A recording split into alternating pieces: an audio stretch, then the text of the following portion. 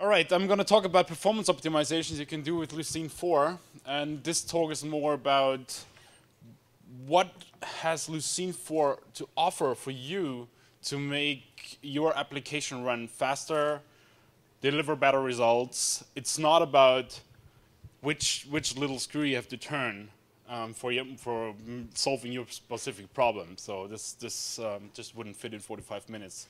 So many specific problems here. Who am I? I'm a Lucene committer for a while now. I um, mainly work on the uh, Lucene core side of things, like index writing or uh, file formats and these kind of things.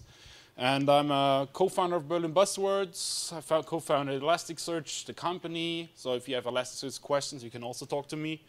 But this talk is not about Elasticsearch, it's solely about Lucene. You can follow me on Twitter if you want, um, or write me emails. Either one of those addresses, they're all going to reach me. All right. Um, for whom is this talk, right? If you're already an expert about Lucene 3 and you, you, you use this software for a while, this is probably the right thing if you want to migrate to, uh, to Lucene 4. If you're curious about what we can do better in Lucene 4 and um, what we changed and why we changed it, sorry, I had to laugh at this guy up there. um, um, then this talk is probably the right thing for you too. Um, if you're an information retrieval expert and you want to get more into um, uh, the features where we opened up APIs to try certain things like different scoring models or integer compressions, this is probably also going to give you a lot of insight into what uh, Lucene 4 can offer for you. Well, anyway, um, so this point probably applies to everybody, right? Like every CPU count cycle counts, so we made a lot of improvements. And um, if you just wanna wanna know and are curious, that's the right thing for you too. The only thing, if you haven't heard about a term like index reader or index writer, then this talk is probably not the right thing for you. But we'll see. If you don't understand anything, you can you can just interrupt me and ask the question right away. Okay. So what is performance? Like when I when I uh, proposed this this title for this talk, I was like, not sure if this if I can actually make everybody happy, because performance means so many different things, right? Like uh, better search quality, faster queries, less RAM, less disk usage, higher concurrency. Um, garbage collection matters to a lot of people because we're living in Java. And well, the other thing is if you want to work on performance and you just want to have an excuse to work on cool things, that's a fair, fair point for a performance optimization too, I think. Okay. Well, essentially the answer is that it usually depends on, um, on what you want to work on and what you need to work on. There's one thing I actually want to repeat here. Um, we worked on a performance issue in Lucene um, in, a, in a software company called the Suggester. And we were really worried about a change because it made the query um, performance six, we lost 6,000 queries per second. So we were optimizing the shit out of it until we realized that actually our benchmark was off by a factor of 10. So it's actually, we lost 6,000 queries per second. Yeah, fine. But it, the, the, actual baseline was not 60,000 queries per second, but 600,000 queries per second. So one thing is like, you know, if you're 10 times slower than crazy fast, you're still crazy fast. You don't need to optimize there. Good. Um, I have gained a lot of experience with consulting. And um, what I saw with a lot of people and a lot of other committers actually um, told a lot, a lot of other people that too, like Hossman told that on a couple of occasions, that if you think you have a performance problem, make sure you actually have it, or make sure you're actually knowing the component who has the performance problem. You know, if you, if you say indexing is slow, but you're still always running your benchmarks, including your database, and your database can't keep up with the interest rate of your index writer, then it's probably not the right thing to tune Lucene at this point. So take things out of the picture, make sure you know what you need to tune, and then the optimizations we do and the APIs we offer in Lucene can actually help you. Okay. Lucene 4 is um, almost an entire rewrite. There's um, a lot of APIs entirely changed. There's um, like the field API changed, all the, the ways how you iterate over documents, over terms. We, we really tried to make it more intuitive, to make it more flexible, more efficient, and um, this is what I want to show you today. I looked at the release notes, and I was like, this is going to be great. I can talk for hours about this because it was like it was this list of 15 20 20 points. And there were even like performance improvements over over 200 times faster queries were not even in the release notes. So there was so many other features they're up there that, that we haven't had space for this. It actually turned out that it was a really challenge to wrap this into a talk and make sense out of a couple of things so i took those and i'm going to talk about those today not in that order but, um, and, and, I have a couple of backup slides. If I would make it in time, then we can talk about other things too. But this is what I'm going to talk about today. Concurrent flushing. Um, who uses Lucene, Solr, Elasticsearch, anything, and has ever encountered a situation where you index and suddenly the number of documents per second drops to zero? One, two, three, four. Okay. Do you know why this happened? Flush. Correct. So um, in Lucene, until Lucene 3, this was roughly the model how the index writer worked. Right? We had an index writer on top, and there was a classic abstraction called documents writer, and the documents writer assigned a thread state to an incoming thread. For a long time, this was actually limited to a max of six thread states. So firing index requests with 200 threads against Lucene didn't really buy you anything. Well, it, during, with these threads, we actually fill up little in-memory segments. And once we reach a certain threshold, a certain limit, we make a decision and say, okay, we're going to merge those two, those, those segments in RAM into one big segment, and that's what we're going to write to disk. Okay, this looks like a fairly reasonable model. The only problem is that in, during this time here, there's nothing happening over there. It's basically locked, right? The index writer is blocked. And what comes out of this is um, an interest rate graph like this, right? This is, this is uh, indexing um, all English Wikipedia pages, roughly 10 million of them. Um, with, um, with Lucene 3.6, it's actually Lucene 4 without the improvement, but the, the same model. And what happens here is that we index for roughly 20 seconds, and then we do nothing for 20 seconds, or it seems we're doing nothing. But we actually just single-threaded in RAM, merging those segments. So there's a couple of prob problems here. Well, one problem is that during that time, your disk does nothing, right? And what's the slowest part? Well, it's obviously the disk. But your CPU goes crazy and blocks all the other threads. So you cannot keep on reading from the database, you can't index, you basically do nothing. In Lucene 4, we made this a little bit simpler. We threw away tons of classes, we threw away lots of concurrent code, and made the whole thing from the documents writer down to the directory a single-threaded piece of code. Documents writer is still almost the same as it used to be before, from the abstraction point of view, but, down, but then instead of like assigning the thread state and index into a RAM buffer and then merge it together, we just leave, on, leave each document writer per thread doing its own segment and we share it across threads. We still have the, um, the situation where at some point we run into the threshold, like there's too much RAM used, too many documents indexed. We need to write this to disk. But once we do this, we can do this per documents writer per thread. So in theory, you could have like five writers flushing at the same time without doing this in memory. And at the same time, another five writers indexing into memory again. So this looks much better, right? This is with document writer per thread. You get a constant uh, interest rate. And what we actually gained from this was roughly uh, a 300% performance improvement on highly concurrent hardware.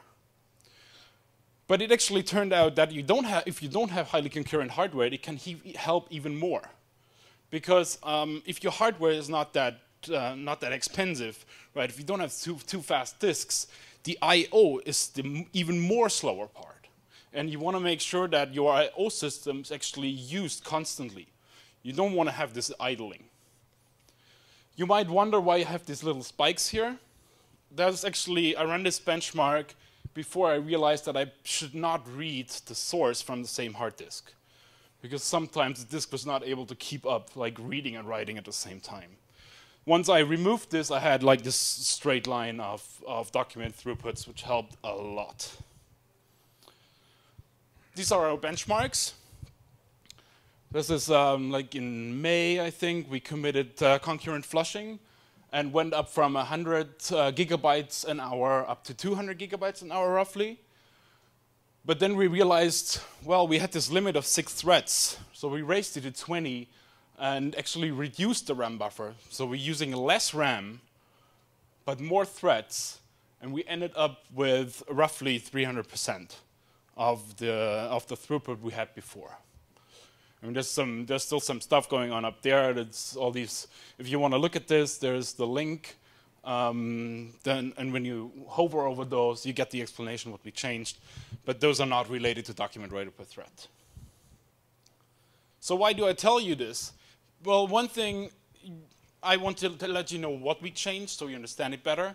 But on the other hand, if you are if you have a lot of knowledge how to tune Lucene 3.6, the index writer with RAM buffer, this has changed. Like increasing the memory is not going to give you more performance. So if you upgrade to Lucene, you should actually look at your RAM buffers and see if it still makes sense to have such a big RAM buffer.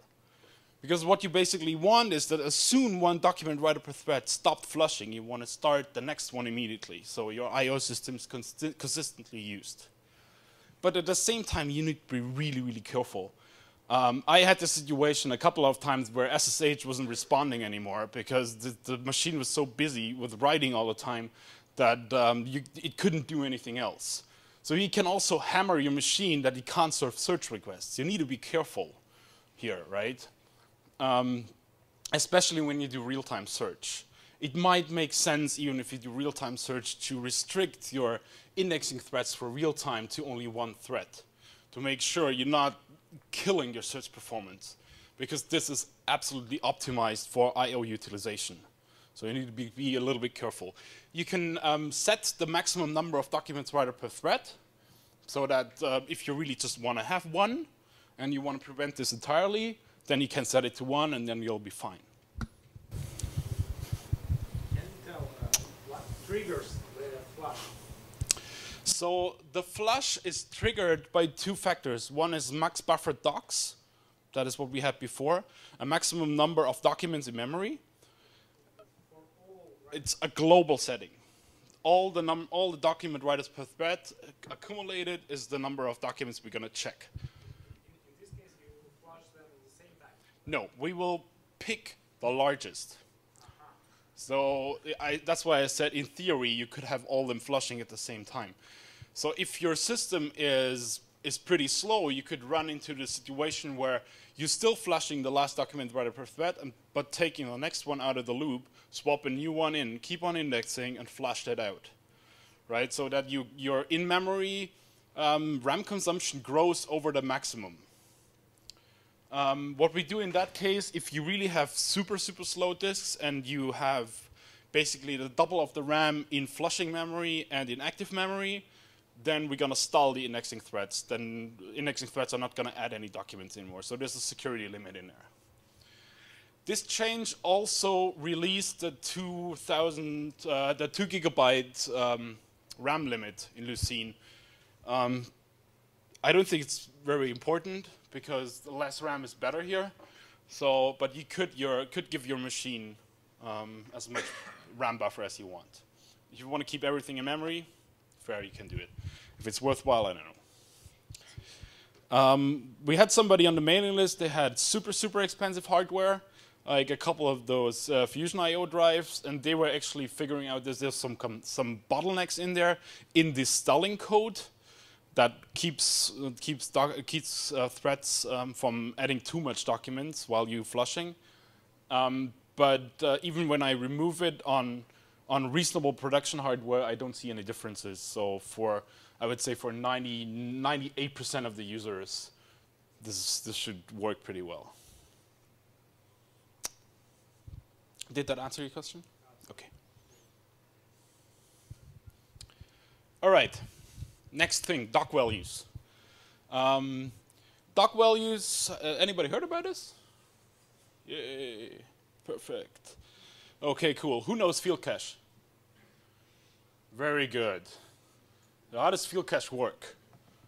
So this is this is basically how Lucene works on the lowest level. We have nothing else than a sorted term dictionary, some statistics, and the number and the document IDs where the terms are stored in. So when you open a field cache, like for sorting or in some cases for faceting, you need to build those field caches. You need to build the field caches from your index terms. And how this works is, once the first time the field cache is pulled, you need it, we're gonna walk the entire term dictionary from top to bottom, read the term, parse it, read the posting list, put the values into the relevant documents in a slot in an array. Okay? Really straightforward.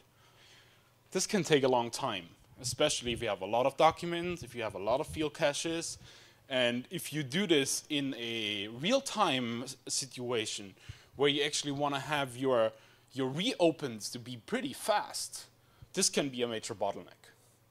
Well, on the one hand, it's a bottleneck. On the other hand, why don't we just store it in that way?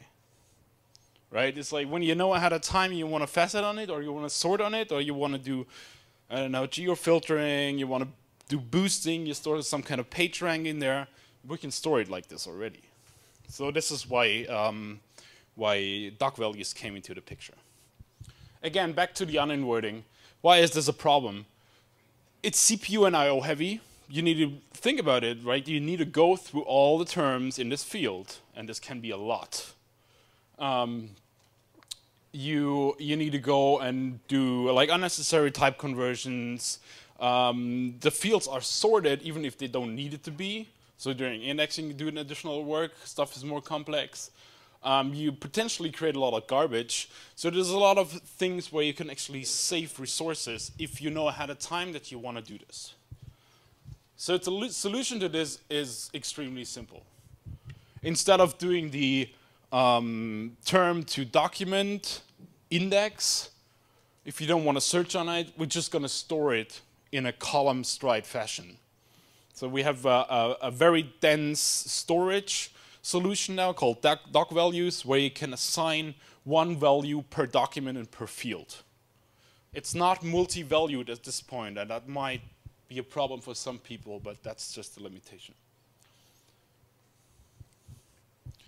Okay, what are we going to do with this and what, what are we going to save? Well, on the one hand, we don't, un we don't uninvert. We have a very compact representation in memory. Um, we pre-built this representation, so there's literally no like runtime cost except of loading things from disk into memory. Um, loading is much faster, um, obviously, because you don't need to go and iterate of all the terms and parse them um, and, and then put it, put it into an array or create all the objects. Um, it's also strongly typed. You can say, okay, I want to have stored as an integer. Um, you have all sorts of, you have integer 8-bit, integer 16-bit, integer 32-bit, 64. You have float 32, float 64. Um, you have uh, byte variants where you can store byte arrays. You can say, okay, I want to, Lucene should deduplicate the bytes if I share a lot of values. Um, you can have them pre-sorted if you need them for sorting. This is helpful. Um, but it, it, all depends on you, on your use case. We're not going to do any extra work if we don't need to. The really nice thing about this is if you can pay the price of not loading this into memory, you can also access it on disk directly. This might make sense for some people. I, I had a customer, they had 150 fields where they wanted to sort on, um, depending on what the user inputs. Right? I, I couldn't even think about an interface where you can select out of 150 fields to sort on, but obviously it was useful for them. but they were obviously running out of memory all the time. So you could do uh, more intelligent things here where you load uh, fields into memory that are sorted on very, very frequently, but fields that are not sorted on very frequently, you just keep them on memory and then people pay the price of having a slightly slower query.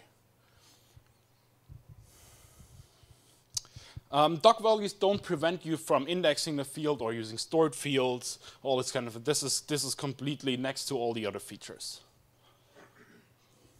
Do you have any questions about this? Use cases?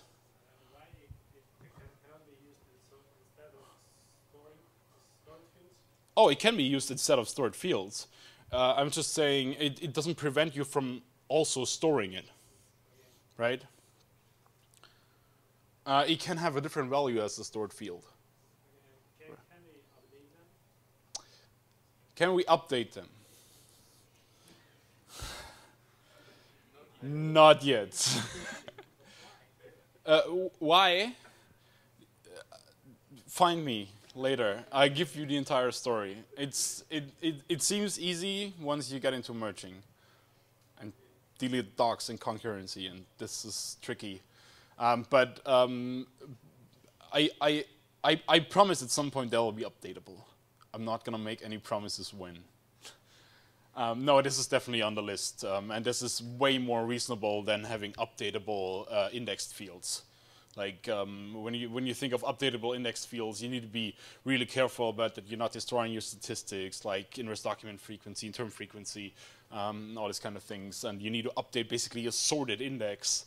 That can be can be really tricky. But um, I totally agree that if we would make those doc values updatable, we probably solve like 70% of the use cases of updatable fields, where you have like some kind of scoring value um, you want to update frequently. Um, yeah, this is this is definitely something that uh, would be a major contribution. Patch is welcome. Um, yeah, what can you use this for? Well, there's a lot of use cases. Uh, we actually also use it for scoring, like the norms, the normalization values um, are stored as document uh, as, as doc values. Um, you could use it for sorting. You could also use it for grouping. I think Martijn, we have a patch that uses it for grouping. Do we?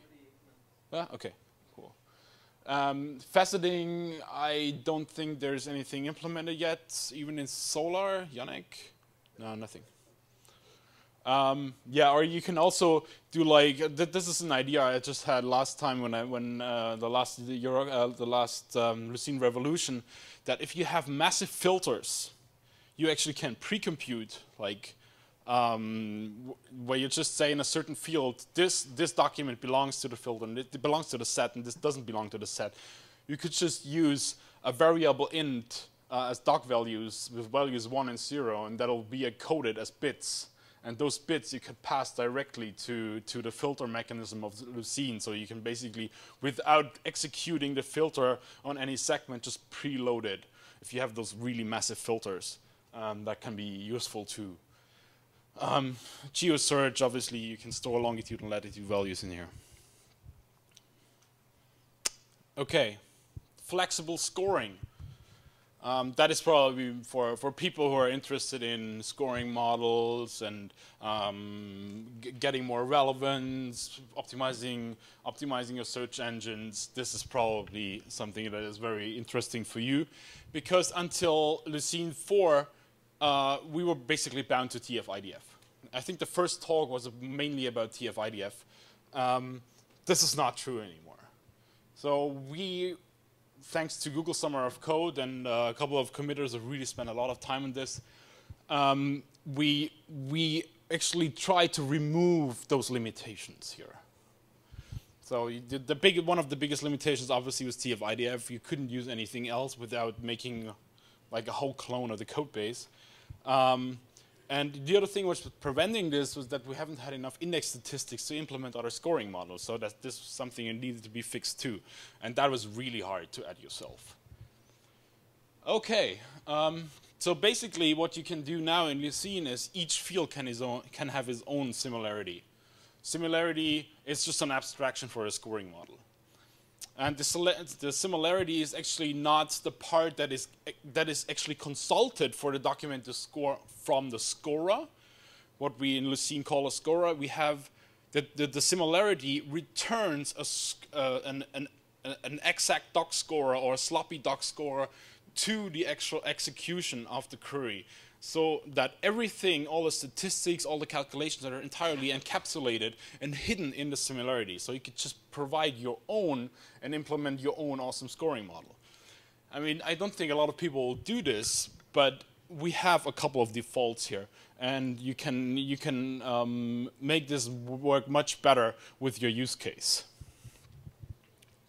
We also have uh, a bunch of new um, index statistics, like the total term frequency, sum of document frequencies, um, doc counts per field, how many documents do you have a value in this field, um, sum of total term frequency, so that uh, if you have like a mixed index, it would probably make more sense to use the doc count per field um, for IDF calculation at this point, rather than like your, the global number of documents, right? Your global number of documents could be 15 times higher than this, and then your statistics get a little bit different. We're probably going to have the same proportions, but for this it would make sense. You can also estimate the uh, average document length with these statistics. That helps for scoring models like BM25, and this is also how it's implemented. We also changed norms here to actually use doc values. That means that a norm value in Lucene is not a single byte anymore. In previous versions, we had a single byte, and we we tried to squash and squeeze the, the document boost and the, the length normalization value into this eight bits, right? And a lot of people are wondering, like, I boost, I boost by 100, and what comes out of it is like 75? What's going on, right? Well, you lose precision at this point. Once you try to put a 32-bit value into an 8-bit value, you're obviously going to pay the price for it. If you need exact statistics, you can do this now and you can actually do it without forking the entire code base. It's actually very straightforward. You can um, write whatever you want into the norms field. You can do byte array, or you can do a 32-bit integer, or a double, and use this at scoring time. So what do we have by default? Um, we have a Okapi BM25, um, certain language models, information-based uh, models, divergence from randomness, and um, if I recall correctly, there's yet another coming. Um, the first one which needs more than two values in the in the norms table. Um, the first time we actually can use this um, doc values as norms. But yeah, um, if you, especially if you if you work with um, documents that are really short, Okapi BM25 might be slightly slower execution-wise, but the results look much better. So this is certainly something you might want to consider if you're moving to Lucene 4 to actually get a little bit into what we can offer scoring-wise and not just blindly go and use BM25, uh, TF-IDF, sorry. Any questions about this? It's a, it's a certain scoring model implementation. Um, I'm not going to go into details what they exactly do, um, but they're useful for um, for certain for certain um, use cases. You could probably ask Stefan. He's sitting up there. Um, how how these kind of things work? Um, he th this is what he got his PhD for, all this kind of stuff. So he's the right person to talk to. Okay. Codecs. Everybody talks about codecs, flexible indexing. Um, that is that is the big thing with Lucene 4. We were talking about this for years. Um, now it's actually released, and hey, it's actually the first conference where it's released. I think I did the first Lucene 4 talk in early 2011, and when people ask me, when is it released, I was always saying, like, in a couple of months. What's that? Uh, it was probably 2010. Uh, I don't know. I, I, I feel kind of embarrassed at this point. Anyway, it's there now. That's good. Okay, Lucene 3.6, we had one index format, that was it. Right? Um, Lucene was writing and stuff to disk, that was sufficient for the most people.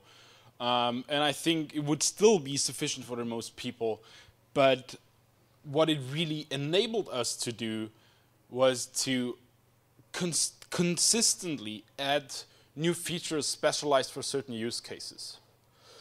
So we came from this, right? changing the file format needed extreme knowledge into Lucene, and there were probably like a handful of people uh, within the committer base and the, and the contributor space that could do that. Um, even just adding a small feature like omitting norms, um, uh, omitting term frequencies and positions um, was a massive patch and took a long time to implement. And we wanted to be able to actually go around all these limitations and say, hey, we have a new idea for a file format, why don't we just try it? And don't go and change all the code, and once we commit it, we, don't we lost all the other file formats. So we introduced the codec layer. And that codec layer um, allows you basically to decide how things are encoded on disk. Right? This is a common interface on top of um, what we call the directory, um, the, the file system abstraction that allows you to, to implement a certain interface um, where you get past all the terms, all the documents, all the positions of the document, and it's up to you how to write it to disk. It's fully customizable. It, it, it might sound like, I'm never going to do this, this is going to be tough shit. Yeah, it is, but if you, if you, well, on the one hand, uh, a researcher, you really want to do this and want to want to play around with different encodings, this is awesome. Um, if you if you have a really big index and a very special use case, this can buy you a lot of performance if you want to go down this level. Um, but even more important for like 80% of the users is that once we decide or see, hey, we can improve something for all of you, we can actually go ahead and do it without breaking your index format. Because the Lucene 4 codec layer allows you to specify a codec per field. And even, even segments that, uh, have, that have been written with a previous Lucene version can still be read with, um, the, with the codec implementation that, the, that was used for writing, right? But if you write new segments, you get the new improved um, standard codec, I want to, call it, and you can just move on from one version to another without having trouble over index compatibility. This actually enables um, a lot of innovation, and this is what, what is really great about this. I'm, i mean, next to it, it, it's, it's totally amazing that you can uh, write your own postings, term dictionaries, doc values, norms, whatever you want. Um, that you can actually do that. Um, I personally don't know any other database-like library that allows you to write your own file format. Okay, um, so yeah, what does this buy us? Well, um, however, if, your if your idea is totally crazy, you can try it out, right? Um, if, if, it, if it works out, cool. If you wanna if you wanna write stuff as a B tree instead of an FST, what we do right now, if you want to use Bloom filters because this is very good for your use case, or want to put everything in memory, um, we allow you to do this. For the most of those things, we already have implementations, so you can swap it in at runtime um, to your existing Lucene ap um, application when you use Lucene 4. But it, it doesn't prevent you from really improving or specializing Lucene for exactly your use case. So what do we have? Well, um, we have uh, the, the pulsing postings format. We divided this into the top level class called codec, and then we have a postings format, a stored field format, a norms format, doc values format, so that each of those components where we write at index time, you can plug in and plug out. And you don't want to write the entire thing new, you just want to write this little posting format part. You can do that, you can reuse the other components. For postings formats, um, the, the pulsing one is something that is helpful if you have um, just a couple of documents per term, right? For terms that are very low frequent, like one, three, four, five terms, we inline the posting list into the term dictionary so we don't need to do a second seek from an offset into the, into the postings format. Um, that might help with performance when you do primary key lookups, for instance and it's relatively cheap memory-wise. Bloom postings format uses a Bloom filter. Um, that can help a lot with NRT when you do deletes. A lot of deletes require a lot of lookups in Lucene, ID lookups, and that can help you a lot um, when you are applying deletes um, during indexing, uh, performance-wise, because it, you know the Bloom filter can definitely tell you if it's, or with a certain probability, tell you if it's in there, but um, it's it's never gonna say it's not in there if it's actually in there. So no false positives. Um, Block postings format is uh, the new standard in in Lucene 4.1. Um, it basically encodes um, term frequencies, document IDs, uh, document positions as blocks on disk, and um, decodes those blocks on the fly instead of what we have done before as variable ints. And that gives you a lot of performance improvements, especially for for conjunction queries. Is that right, Adrien? Yeah? Okay. Um, the other thing here is that in Lucene 3, if you index positions, you had to pay to pay the uh, index and uh, positions and payloads. You had to pay the price for the payloads if you use them or not, right? So that they were actually really costly. You had to read them. And with Block postings, they're kind of separate. So we, if you don't need the payloads at all, then uh, we don't even decode them. So you save a lot of time uh, for things you don't need to use. Okay. Block term tree is our new default uh, term dictionary. Um, there is um, a, a, dramatic RAM reduction with this uh, block term tree. If somebody is, cur is, curious, it's a mixture of a finite state machine with uh, a burst trie. So if that means something to, to anybody. Uh, it's a very interesting implementation. Code is super hard to read. Uh, if somebody wants to document it, it's super welcome.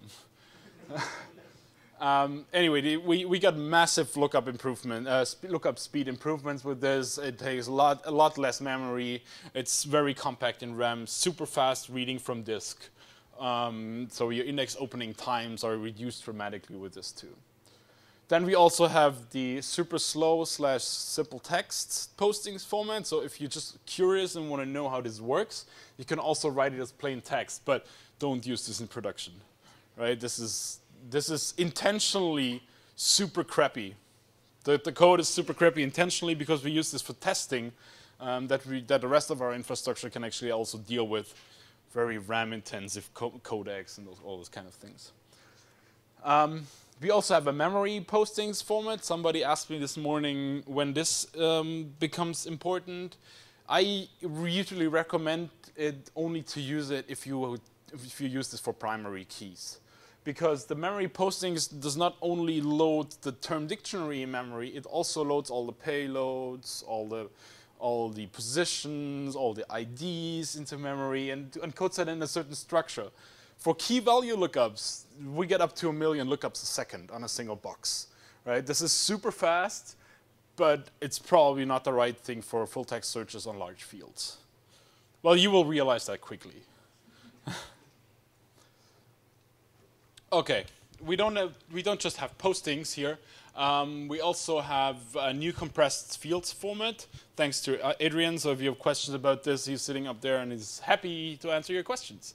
Um, there's a lot of lot of um, performance improvements coming together with the compressed stored fields because um, what this essentially means is that we're using a, a, tremendous amount of less disk space and that means it fits much better in the file system cache and um, since we don't have to load that much stuff from the disk and your disk's so slow even the, the overhead of the decompressing of the data is so tiny that you get a, a massive speed improvement even over, over that you have less disk space. We actually thinking about making it the default. Did we commit it already?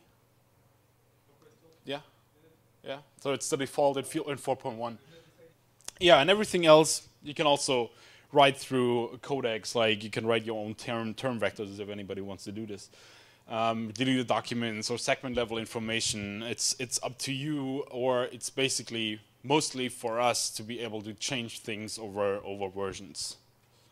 So hey, I want to encourage you if you have a good idea for compressions or making things faster, making things more efficient, um, please come up in the mailing list. Tell us, even if it's not going to work out, it's always good fun. Wrapping up. Um, well, if I had more time, I would talk about uh, filters where can, you can uh, get improvements up to 500% in execution time. Automaton queries, um, our famous fuzzy query, um, new fuzzy query implementations. Um, we now have terms offsets in the index, which uh, allows us to, in the, in the future, have really efficient highlighting implementations. Highlighting is one of my biggest pain points in Lucene. It's actually really slow. Um, and that will hopefully get better in the, in the near future. Um, we have uh, things like uh, new spell checkers and query suggesters. I highly encourage you to look at the suggesters. You can do really, really nice things. And if you want to see something, I can show you some implementations of um, um, something we call a fuzzy suggester, which delivers you uh, query suggestions and spell checks them on the fly and re-ranks them. It's kind of a really nice thing, um, cool user experience.